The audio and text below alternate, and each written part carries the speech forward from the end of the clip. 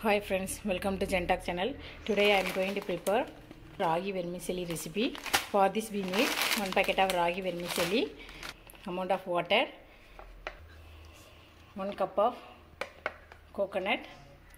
I grinded without adding water.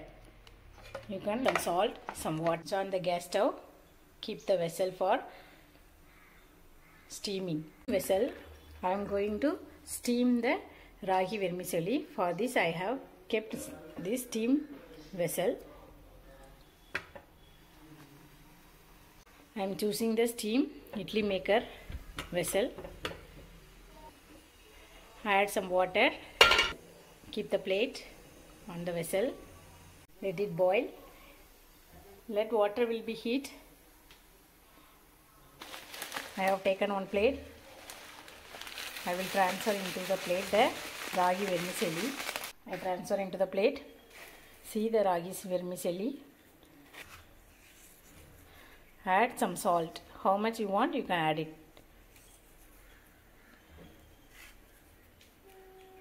Next, we are going to add water. You have to add water little. Don't add too much of water. Little little water add and be soak. It will soak for 5 to 10 minutes. Knead the ragi vermicelli. Don't add too much of water. You have to prepare like this the vermicelli. Now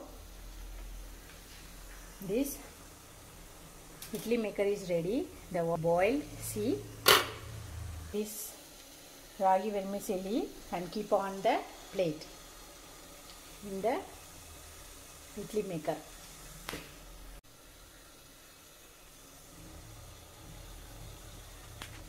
See, you have to keep like this. Going to add coconut and you take coconut and spread into the vermicelli.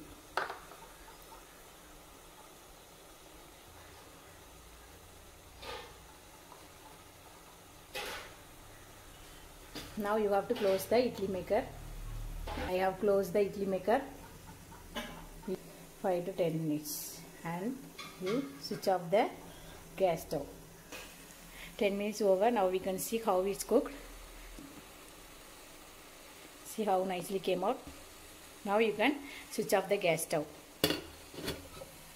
See friends how nicely came out. This recipe you can eat with sugar or with curry. You can eat ragi vermicelli recipe is ready. Thank you.